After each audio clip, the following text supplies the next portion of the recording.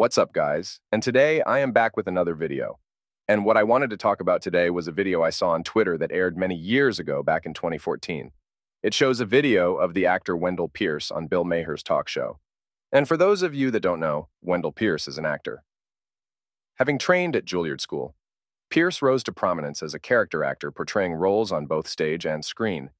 He first gained recognition portraying the role of Detective Bunk Moreland in the acclaimed HBO drama series The Wire from 2002 to 2008.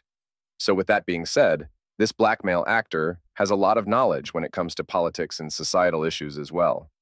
And as we know, Bill Maher has been known for his controversy, and from what many like to say, that he likes to stir the pot when it comes to political issues.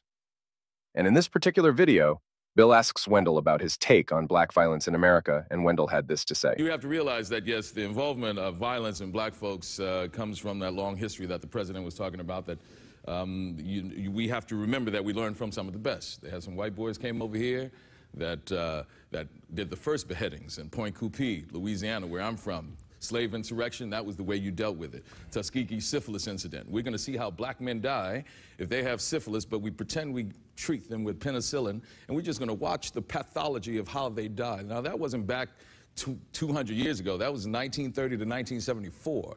We're talking about giving these wonderful blankets to the Native Americans infected with smallpox as they walked on that trail of tears just to see how they die and to eliminate their population so we can take all of that land. So the violence that is in America has come from a very learned position that was brought here by some Caucasian folks. All right? So now, when it comes to the NFL, when it comes to the NFL, you have black men who have taken advantage of this opportunity to go there. So for every one, two, or three that may have been in the news because of violence, there are another 2,000 that deport themselves as gentlemen, as husbands, as fathers, and, uh, and as great professionals. So we must remember them also. Uh, okay. So, but, but, but, you know, and, and but yes, people are responding to that. They, they see that image of that black man. You know, one of the uh, MacArthur Foundation fellows, they just one is uh, a, a, psychologist, uh, Jennifer uh, Eberhardt from Stanford, who deals with racial uh, uh, messaging and, and in, in inequalities that people are, is either learned or subconscious that when you see me in a certain situation, you think violence. If they see you in a certain situation, people don't see violence. So the image of the black man being violent has been perpetuated for a long uh, time. A rebuttal from the whites. Well, let, let me say this.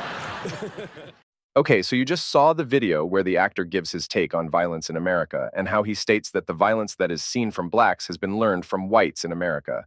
He also states that when it comes to representation and propaganda, that the media loves to zero in on the negative representation of black people and not the positive ones such as the psychologists and others as well.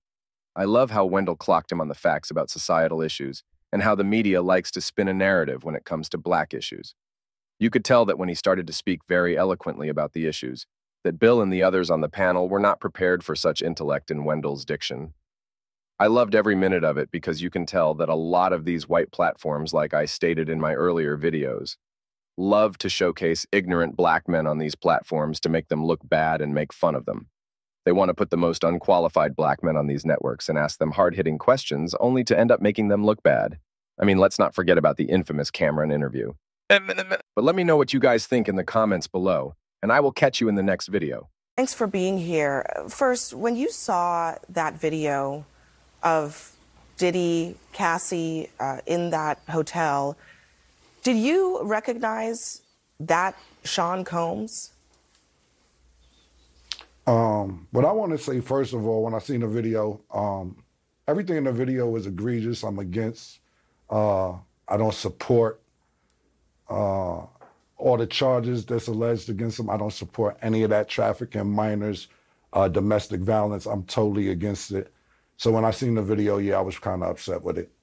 Uh, no, being that I know him, he's not necessarily a friend, but yeah, I was upset when I seen it. But did, did you recognize everything him? I just said?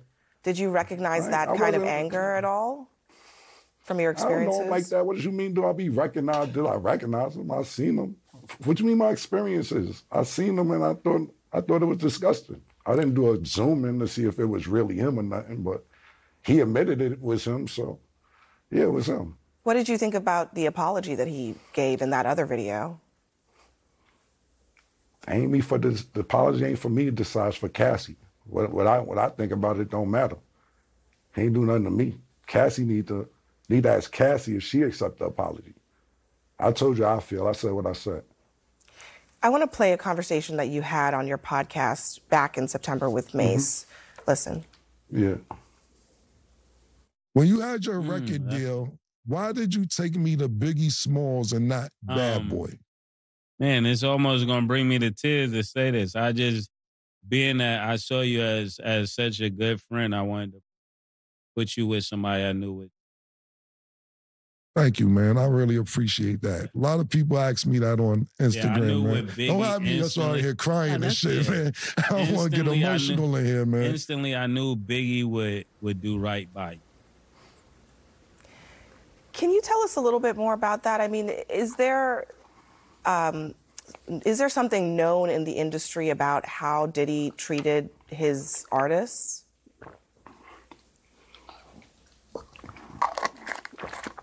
So I'm going to get some cheeks after this horsepower joint. Um, I'm just going off what Mase said. Mase took me to Biggie. I don't really know Puffers like Mase no Puff. So I appreciate what Mase said. And of course, uh, that's my brother. So if he felt that way, then he felt that way. I can't really tell you how Puff moves or anything like that. Mase may know better than me because he was signed to Puff. I wasn't. But my show does come on at 8 a.m. Eastern on YouTube. It's called It Is What It Is. And y'all make sure y'all check it out. I mean, I might get some more information out of Mase from there. But for me to tell you mm. how Puff act and all that, I don't know. I never was signed to him. Yeah. What about the industry in general? I mean, so many people have pointed out that Diddy couldn't get away with this stuff if there weren't a lot of people protecting him. Do you think that's the case?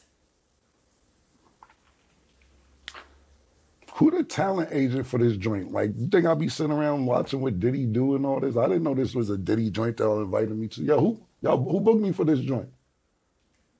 All Y'all right. wild, and I don't be sitting around watching Diddy and all that. Yeah, thanks. man, come on, man. This Thanks for crazy, joining man. us. Thank you for your time Yeah, tonight. yeah, yo, thank you, thank you for having me. You enjoy.